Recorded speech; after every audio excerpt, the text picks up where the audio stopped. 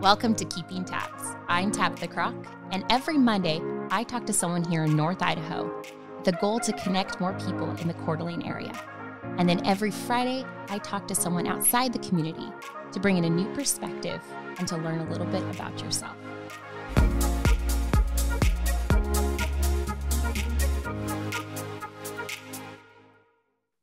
Morning. I have Chris Thompson with me today, uh, aka uh, Sup Daily. If you're following him on social media, TikTok, Instagram, um, Twitch, any of those outlets or platforms. Um, and I found him actually on TikTok and fell in love with his content and his personality and his energy. Um, and I started just following everything he's doing. So he is, I'm going to see if I can get as many things right as you're a public speaker, uh, live streamer, social media uh, TikToker, singer, hiker, uh, Twitch creator, all of the things, um, entrepreneur, doing some really cool things. He's got merchandise. Um, so it's awesome. So, first, thank you so much for joining me today. Yeah, of course. I love doing these things. It's fun. Yes. And, and like we said, we were just talking about we're stuck at home. So, it's really fun to do these things, is when you can connect with people when you're sitting at your home by yourself. 100%. We need that now more than ever. So tell us a little bit, if I didn't cover it all, tell us a little bit about your yourself and what you're doing right now. Uh, yeah, you made me sound very busy, and then I, I guess I am. Um, uh, I mean, I've been doing social media content creation as my full time job for the last ten years. Um, I started on YouTube in 2006 before I even knew what YouTube was. I thought it was like a private place to store videos, and now 15 years later, I'm I'm still creating content.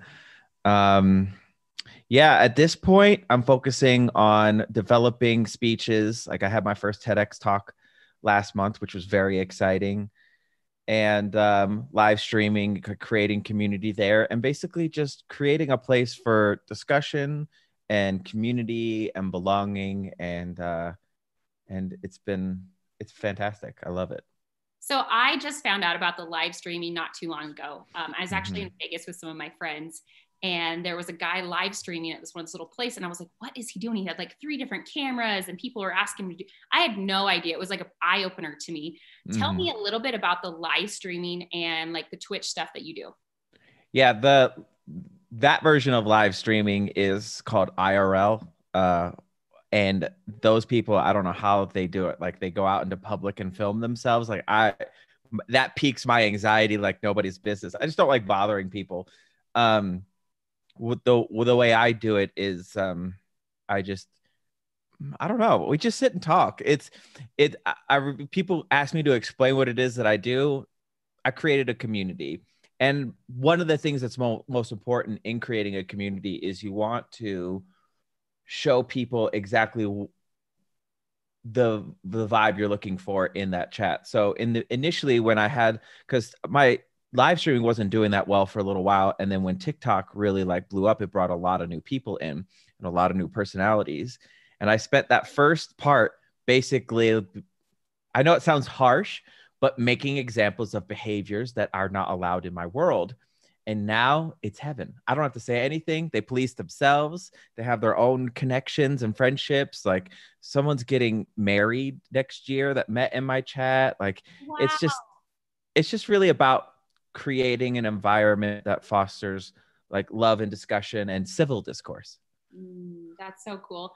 Um, and you did did you do like a Thanksgiving stream too just not too long ago where you had Thanksgiving with people? Yeah, I, I I initially had a couple of different Thanksgiving plans, and then with COVID just really spiking recently, I just didn't think it was responsible to have any gathering. So I was like, well, there's going to be a lot of people who need somewhere to go. And that's honestly how my audience grew so rapidly is when lockdown happened starting in March. I basically said people are going to need somewhere to go. So I went from streaming 4 days a week to 7 days a week for the entire time on both Twitch and TikTok. And it just created a bond between me and my audience is called the Tweerdos. It started on Twitch. So it's Twitch and Weirdo put together. So it's you can be exactly who you are as long as you're respectful. And I think uh, it's continued to do that since I established that. That's awesome. Well, you're like a natural born entrepreneur. You you see opportunity, you create it. But what were you like as a kid? um really sensitive. I'm still a sensitive person, but like I had I had no boundaries. Um, I didn't. I just let people do whatever they wanted. Um, I was really busy. I was always doing sports or musicals. Um, I was just like a really nice kid, and but we moved a lot as kids. So I I moved like to five different five different states. Uh, I spent fifth grade in two different states. So I, I, uh, it was easy for me to make friends, but I found that it was difficult for me to maintain long term relationships because I was so used to just leaving. And this is pre internet. So there was really no way other than calling on the phone or writing letters to stay in contact with someone. Well, I know, and you're saying sensitive. You've actually made me cry. I've watched some of your videos and I'm like, oh, why am I crying? Yeah, you're an empath. So you feel the emotions that I'm feeling. Mm-hmm. And that's one of the purposes that I have, especially as a man, expressing my emotions, because there's a lot of emotionally inept men. And there's many reasons for that. Um, some of them that have very little to do with the action of those particular men.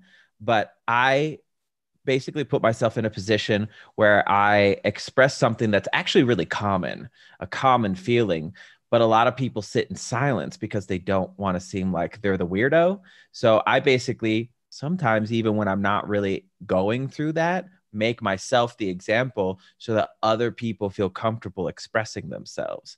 So maybe the thing that you connected with me on was something that you identified within yourself and I opened the door for you to e- at least emote that Oh, so true. And I, I watched one of your videos or something where there was a woman like actually thinking about suicide and how you like impacted her with all your mm. positivity and what you're telling people. And I think that you're so raw and real on all of your platforms that it's very um, emotional and it's very attractive because you can just connect with so many people because we're all going through some kind of shit. Like we're all going mm-hmm. through it but you're able like you said is usually we can feel comfortable like opening up to you and you're not going to judge anyone. And i think it's it's it's amazing what you're doing.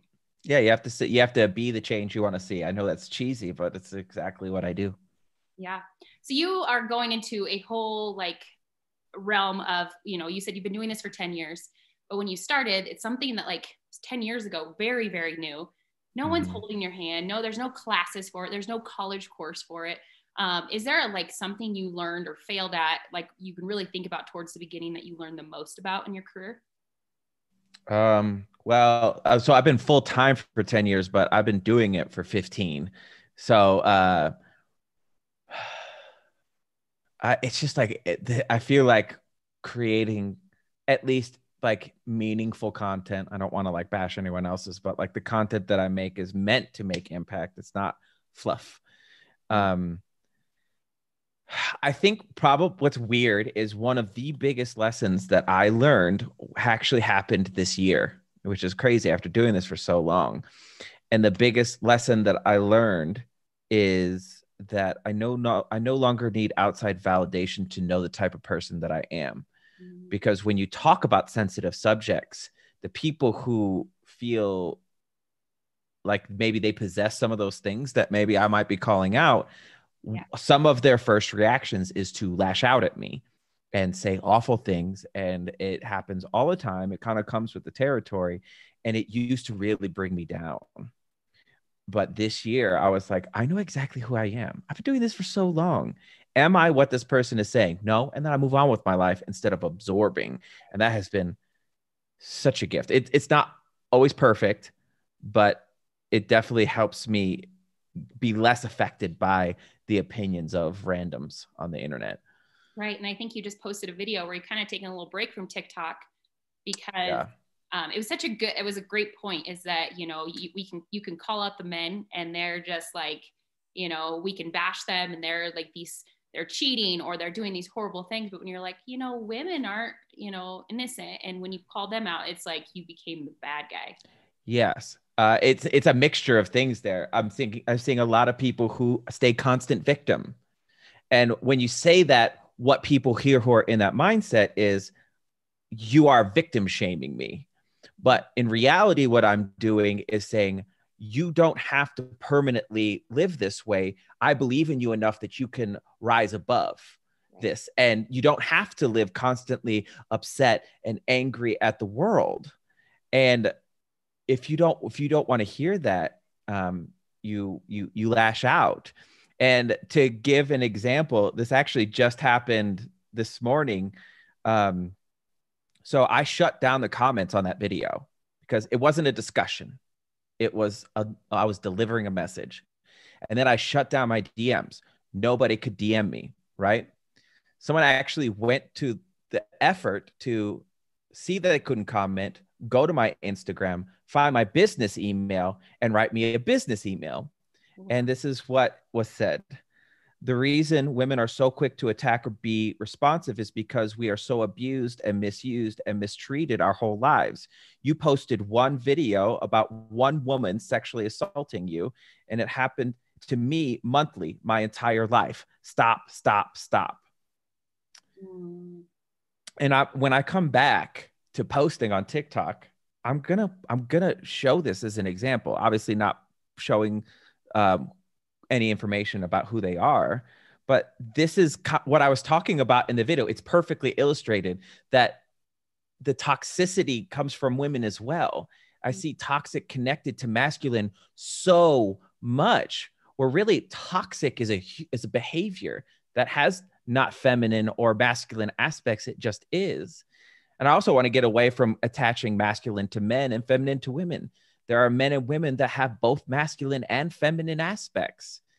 And so this person is is what this attitude is one of the reasons that men don't speak because when we do speak like okay i mean i'm not going to go into too much detail but i was drugged when i was raped mm-hmm. so are you saying that my experience is invalid because you've experienced more. And you don't even know that you experienced more. She doesn't know what my history is. She doesn't know what I've gone through. So, m- my hope in creating this discussion is to show if we're going to say, listen to victims, let's not attach gender to it. Men and women go through struggles and we should be supporting each other instead of having these like weird trauma comparisons. Mm-hmm. N- nobody wins in the whose life is harder competition. Exactly. I mean, that's exactly.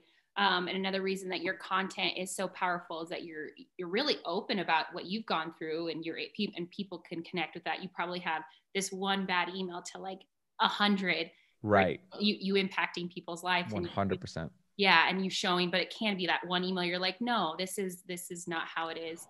But unfortunately it's not just this email. Yeah. like i get comments like this all the time and there are so many women it's not a little bit of women there's so many women that don't believe in supporting men because they've been hurt by men where most of my trauma like like yeah i went through my rape situation but there were there i could i've been assaulted i can count a dozen times. I've been beat up multiple times and this is all at the, at the hands of women. So why is it why when i go through that do i not apply that to an entire gender but women feel free not all women but a lot of women feel free just bashing men. And if you want men to be better if you want men to elevate if the only thing that they think they can be is trash well nothing's going to ever change Mm. You know, like if you hear, think about, think about the young men in your life. If all they hear is men, is, men are trash, men are trash, men are trash, how do you think they're not going to internalize that and think, well, I'm trash? Yeah. And oh. now we got another, another, another person who's going to grow up hating themselves. And then that manifests itself in destructive behavior. Oh, so true. Um, I think, and you have that through your content, which I think is fantastic. And that's why I was drawn to you is because it's, um, you show both sides, and I think that's fantastic. And you're constantly showing people to love themselves. How do you um, how do you show your self love? That's a journey for a lot of us, because um, we know where the bodies are buried. You know, we know where our skeletons are. So it's it's. I don't I, I don't necessarily i think the most loving act someone can do is accepting themselves as they are in that moment mm. you know like we are all imperfect beings. We are all in process. So looking at yourself and saying, you know, it's not that I don't want to improve. but I do, I, I, I am proud of where I am right now, and I'm willing to to move forward. So I think one of the things that I just started to do is accept where where I am mentally, accept my body. Like I have body image issues, just like anyone else, and just just loving myself in this moment, and spending time talking to people that enrich me and that I can enrich back. Being of service is is a really big one. Volunteering does so much for you yeah. and your self love. Oh, I'm the same way. That's that's something where I I find um, where I I guess it's a guilty pleasure. It's something that I do it selfishly. Like it makes me feel good. I'm doing mm-hmm. it to help others people, but I'm also like, the end of the day, I'm like, man, I feel really good about myself. And it's one of those moments. Everybody does that. no one makes actions that are completely selfless. We always have some sort of gain, but there's nothing wrong with that. Like if you're helping the world, why should you not benefit from that? You know, if that's the only reason you're doing it, that's kind of gross. But yeah. like, why shouldn't everybody benefit in situations where you're doing good for the world? Yeah. So you're inspiring many people um, to become better, to be the best self, you know, to work through maybe they're all going through something similar. Um, but what, like, is there someone or something that inspires you daily? My father. Hmm. He, um, he's he's actually one of the reasons that I don't really it's not allow i'm trying to think of the right word for it i acknowledge the fact that we all have different starting lines in life 100% and some people have to work way harder to get to where they are in life 100% but that does not mean that that it's impossible and it does not mean that you can't become a productive member of society and my father is an example of that like I moved five times as a kid. He moved 15 times as a kid and moved out by the age of 13. He was abused by his father. He was abused by his stepfather. He started working in the age of, of 12. He's pretty sure that they were homeless for a period of time. He used to sleep on a porch, you know, at a, at a house. Like he has been through so much trauma and abuse and struggle, graduated head of his class, got a great job, raised a beautiful family, was not destructive in the way that people were destructive to him. So he's an example of you can break the cycle if you have an abundance mindset, but you have to choose victim or abundance. You have that choice. And when, again, when you say that to people, if they don't want to do it, because it's way more comfortable to stay victim. Oh yeah. If they if they don't want to do it, they hear you're attacking them. But really, I'm just saying I have faith in you that you you could live a happy life, a successful life. Um, and I hope that for for anybody. That's awesome. Well, we're we're talking about a lot of serious stuff, but really, yeah. really this guy's hilarious too. So a lot of your content is funny. You call out some of your dating stuff or people sliding mm-hmm. into your mm-hmm. DMs and the funny. I I mean, I love it. It's fantastic. Mm-hmm. Um, you're living in Denver. Um, tell us if we're if we're going to Denver, where is the must place to eat? Okay. In Denver, if you're going to go to breakfast, you go to Denver Biscuit Company. They do these. I'm not really a biscuit guy, but the biscuit sandwiches here are incredible. And if you have a sweet tooth, they do this like homemade cinnamon roll that is just doused in frosting. It's delicious. If you're trying to get pizza, there's a place called Pizza Peddler that does all sorts of different like gourmet pizzas where I do on one of my concoctions put pineapple on it. I don't know how that became such a discussion. It's my mouth. I will do what I want with it. Um, I'm trying to think of where where else I've gone. It's so hard because I haven't been going anywhere because you can't really go anywhere. Um I don't know. There's so much in Denver. There's so much culture yes. um, that people don't know about. And Denver is a smaller big city, so it's really easy to like get around and explore. I love that. So outside of uh, you know everything, all your work and your hobbies, what is what are some hobbies that maybe we don't know about that you enjoy doing? Um, that you don't know about. Well, I just started learning guitar. I've been promising myself to learn guitar for like I don't know forever. So starting guitar. I do play piano, but uh, which I don't really share online really. Um, and I sing opera. I, I sang opera for a long time. Awesome. Um, I don't know about hobbies. I'm really into virtual reality archery and boxing. It's so much fun and it's such a good workout. I just got that Oculus Quest 2 headset and like it's so much fun. My whole family, so my family this year because my sister while she lives down the street from my parents is a nurse in a COVID unit. So she's trying to stay separate from from mom and dad.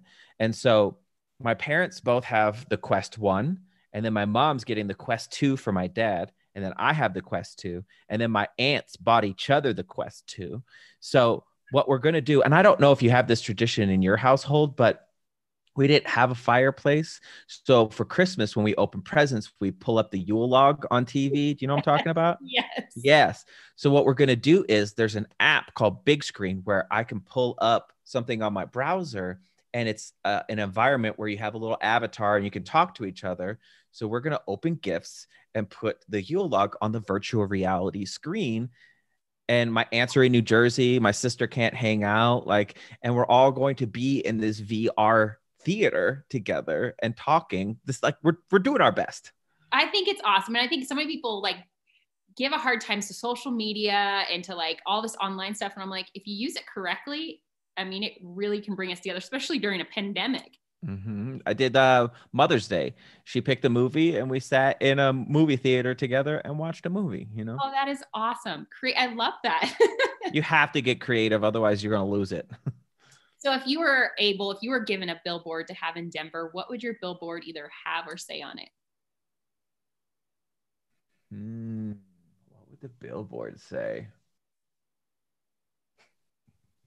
The first thing that came to mind is me just waving and saying hi. That's it. I think people just want to be acknowledged and feel like they could connect with someone. Hi, and then maybe my social medias if they wanted to say hi back. You know, just just something that connects people. That's always been kind of my goal. I'm not the best at marketing.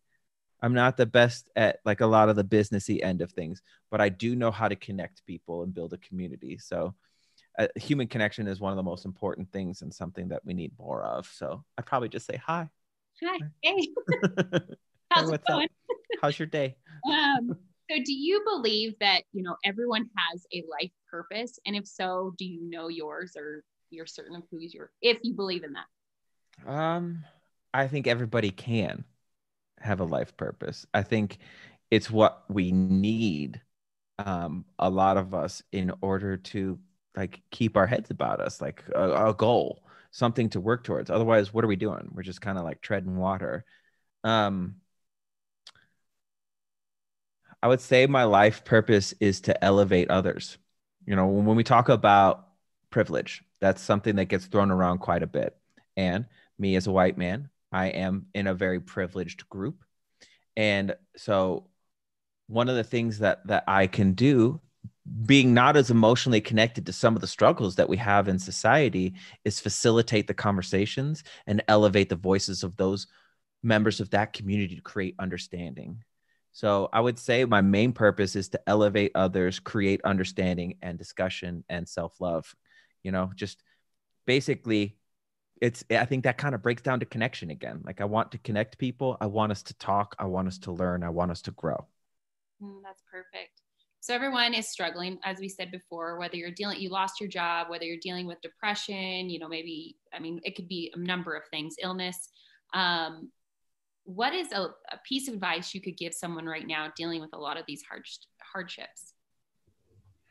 Life gives you where you focus your energy so I saw a quote. I wish I, I wish I had it pulled up, but it was like chalk on the sidewalk. And it basically said, I went into 2020 thinking about all the things that I could have. And I'm going to leave 2020 being grateful for the things that I do. Mm. So you can focus on what you lack. You can focus on the things that you have no control over, or you can grab a hold of the things that you do and focus on building. Mm-hmm. you know like take your time and be grateful for the things that you have like even if you have an internet connection to even read that you are so blessed. If you have heat, I've lived through not having being able to afford a heat bill. Like it sounds if you really take a step back and look at the greater scheme of things, especially in in this country in the US, we are so blessed in so many ways. And if you focus your energy on negative things, you will manifest negative things. If you focus on positive things, you will manifest those. And it's your choice. Yeah, that's awesome. So do you have any big projects or things that you have coming coming up anytime soon? Um basically I'm trying to I'm writing a book um cuz I had a I had my TEDx talk last month and the TEDx talk was called Influencers is a verb. Um, so many people look at influencer as a title. It, and for me, it's not I am an influencer, it's how do I influence? So I basically um, tried to break down 15 years of experience into a 12 minute talk. Um, so the plan is to keep developing that speech. I wanted to, uh, the, the camera work wasn't the best with the TEDx thing. So I want to develop my own version that has higher quality audio, higher quality video and then I really just want to like show people what it's about. But I want to have an expanded version that tells all of the stories of me starting and where I am today and the lessons I learned along the way. It's kind of like I became an influencer, so you don't have to thing, you know, like I'm going to go through all those struggles so that because when I started, YouTube was six months old. Nobody knew what YouTube was. You needed like 10,000 subscribers to get into the top 100. And nobody made any money because Google hadn't bought it yet. So it was like the people from my generation of YouTuber, we didn't have anyone before us to guide us. So I really want to help guide, especially young creators who will have a lot of influence as people move away from television. Like kids don't watch TV, they watch YouTube. You know, they watch TikTok. They, they're online creators is, is their TV. So I want to like guide them so that they know that you can you don't have to follow toxic trends in order like don't eat a tide pod so that you get a million views because after that million views one if you survive um, they'll leave because they were there for the thing that you did not you. Yeah. So you can have success and maintain your integrity mm-hmm. and um, not damage yourself in the process. Or like you don't need an onlyfans account or something like that. You know it, it's if that's what you want to do, go do it. But like you have, if if you're doing that because you think that's your only option, it's it, that's not the case. Do you ever just get completely exhausted from constantly being on with being an influencer on multiple different platforms? Every day, and I'm, I'm it's it, it's a tough tough position because like I recognize that it's every day. People like, oh, just take away, take take a walk away from social media. And like I was like, okay, why don't you walk away from your job for a week and see how that goes? Are you gonna get fired? Are you gonna not make money? Are you gonna be able to put food on the table? Like it's my job. It's not this like funsy thing that I do. It is fun, but it's also not always fun. Yeah. So, I mean, like I said, like with the whole thing of TikTok, it just has to get exhausting to a point where you do just want to take a break and get away from it. But like you said, when you your full time job, makes mm-hmm. it difficult. Um, so I, I think one of the things I'm going to do is is I'm going to start banking a bunch of material, and then just take a step away because as much as my social media world is so important, none of it matters if my mental health isn't there. None of it. 100%. That is um, something a lot of people uh, take for granted that it's very taxing on you. Um, I, I mm-hmm. totally get that. So, how can um, me and my listeners and followers support you right now? Um, I mean, just if you if you enjoy the content that I put out, share it with people. Like like the post. That's what shows any of these apps algorithmically that it's content that you want to elevate. You know, I think a lot of people spend a lot of time elevating negative content because we have this like immediate reaction with something negative to want to lash out at it. And unfortunately, it started to foster an environment of negative content mm. where if we see something wonderful, we go, oh, that's wonderful. And we move on. but you have to engage with it if that's the environment that you want to create. I purposely go through, if I'm sliding through TikTok, I'll click not interested, not interested in content that doesn't match what I want. And I groom my feed. So if we spend more time engaging with positive content that uplifts people, then we will foster that environment. But I get why people don't think because it's just like, ah, and then they move on. Yeah. Where if they someone says something awful, like we just want to get them. and I would I would uh urge people to maybe just take a breath, take a step back, and not be immediately reactive to those people because a lot of the times that's what they want. Yeah, that's so true. Well, yeah. Chris, thank you so much for giving me a chunk of your time today. Yeah, thank you for inviting me. I, I love doing this stuff. Thanks for listening to Keeping Tabs. I'm Tabitha Kraack, and every Monday I release a podcast about different community members here in North Idaho. And then we end the weeks on Fridays with a podcast about the things I'm passionate about outdoors, adventures, sports, the van life, and even current events. So if you like what you heard, make sure you subscribe to my YouTube, Spotify, or iTunes. Thank you again. Now go be kind and do something great.